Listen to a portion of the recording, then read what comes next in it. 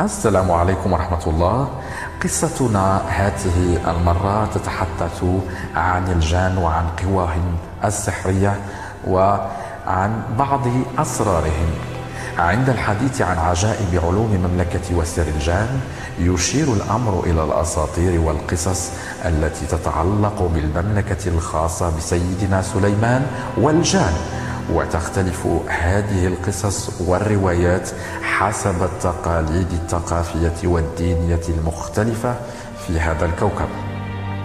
وفي القصص الشرقية خاصة يصور سيدنا سليمان على أنه ملك حكيم ونبي من العصور القديمة يمتلك قوة خارقة ومعرفة علمية لا نظير لها فوق الأرض.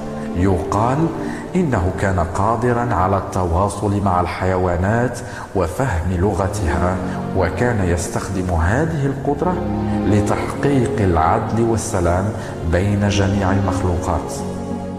ويقال أيضا إلى أنه بنى قصورا رائعة وقام بأعمال هندسية مدهشة باستخدام الجان. أما الجان للكلام عنهم فهم كائنات خارقة وغير مرئية. يعتقد أنها موجودة في عالم موازي للعالم البشري. فأما غذاؤهم فهم ينقسمون إلى عدة أقسام نذكر من بينها المسلمين والكفار. فأما المسلمين فهم يتغذون على كل طاقة روحية التي تجلب السعادة والفرح إلى القلوب. وأما بالنسبة للجان الذين هم من الصنف الكافر فهم يتغذون على الحقد والكراهية وجميع الأحاسيس والمشاعر البغيضة التي تنطلق من الإنسان. ولهذا فإن كل شيطان أو جان فهو يوسوس للإنسان حتى أنه يقوم بعمل دنيء وهكذا فهو يتغذى كاملا على هذه الطاقة السلبية حتى يتقوى وحتى يكون أكثر قوة من ذي قبل. تختلف التصورات حول الجان بين الثقافات المختلفة لكن في الأساطير الشرقية يعتقد أن الجان كانوا خدم سيدنا سليمان وأنهم كانوا ينفذون أوامره يقال إنه استخدم قوته ومعرفته في إنشاء المهام الصعبة وبناء المعابد والمنشآت الضخمة.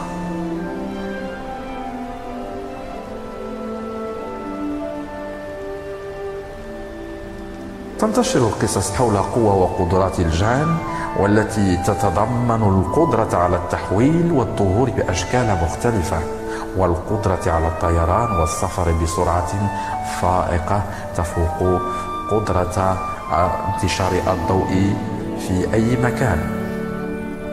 وأيضا مع التواصل مع البشر والتأثير عليهم وتحقيق الاماني والرغبات ولكن ليست موثوقة من الناحية العلمية. من الجدير بالذكر أن الأساطير والخرافات قد تختلف بين الثقافات المختلفة وتتضمن تفسيرات وروايات متنوعة حول مملكة الجان وقدراتهم. دعونا نلقي نظرة عن قرب عن هذه المملكة. مملكة الجان هي مصطلح يشير إلى العالم الخفي الذي يعيش فيه الجان وفقا للعقيدة الإسلامية والأساطير والخرافات المتعلقة بهم.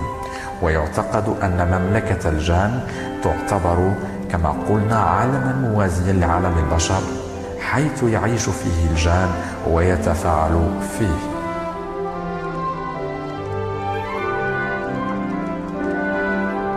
وقد تصف القصص أن مملكة الجان تتميز بالجمال والغنى والعجائب وقد تشير إلى وجود قصور ضخمة وحدائق خلابة وكنوز هائلة في هذا العالم الخفي. مع الإشارة أن مجموعة من البشر مع الزمان يبحثون عن هذه الكنوز بطرق مختلفة تحت غطاء السحر أو السحر الأسود. خاصة. مملكة الجان هي مفهوم يشتهر في الأساطير والخرافات وتوجد مجموعة من الأساطير التي تصف ذلك.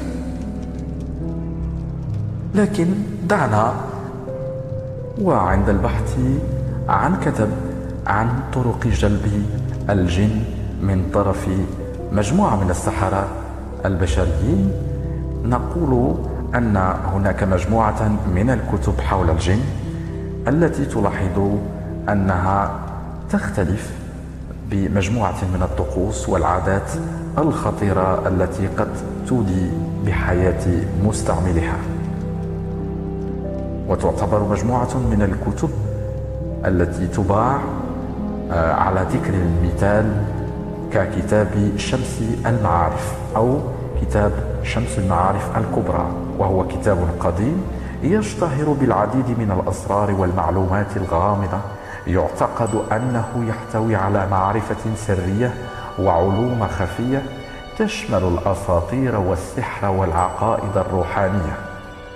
ومع ذلك يجب أن نلاحظ أن هذا الكتاب يعتبر جزءا من التراث الغامض والغير المؤكد ولا يمكنني تأكيد صحة أو دقة المعلومات المذكورة فيه. شمس المعارف الكبرى قد تم تأليفه في العصور الوسطى وترجمته إلى العديد من اللغات. يزعم أنه يتناول مواضيع متنوعة مثل العلاج بالأعشاب والطب البديل والتنجيم والسحر والتواصل مع العوالم الخفية وغيرها من المواضيع ذات الطابع الغامض والروحاني. مع ذلك يجب أن نذكر أن الكتاب قد تعرض للتحريف والتعديل على مر العصور وقد تكون بعض المعلومات المذكورة فيه غير دقيقة أو قديمة. يفضل أن تكون حذرا وتأخذ المعلومات المذكورة في الكتاب بروح من الاحترام للتراث الثقافي والتاريخي ولكن لا ينصح بقراءة هذا الكتاب لأنه قد ينقلب على مستعمله جسديا أو روحيا. وهو يعتبر كتابا من الكتب ذات الصلة بالسحر واستخدام الجان. وإذا هو يعتبر شركا بالله عز وجل.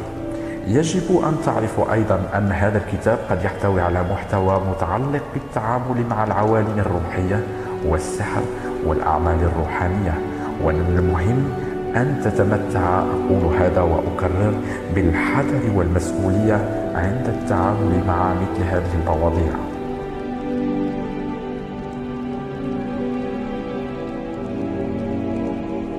ومع ذلك يجب أن نلاحظ أن شمس المعارف الكبرى هو كتاب خطير يعتبر خاصا ويشتهر بوجود محتوى سحري وغامض ويحتوي على تعليمات أو أدوات تزعم أنها تساعد في الحصول على القوى الخارقة أو الاتصال بالعوالم الأخرى.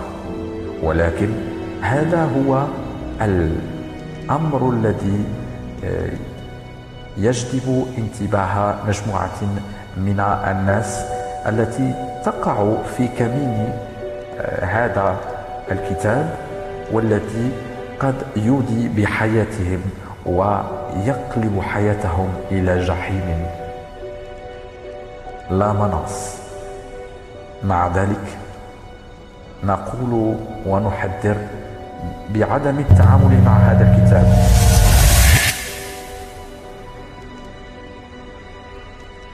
ومع ذلك نقول أن من الأحسن ومن الأفضل أن نعرف بأن هذا الكتاب هو من التراث آه، الغربي القديم وهو المؤلف المزعوم للكتاب هو رازيل الطبيب الأسطوري والملائكي.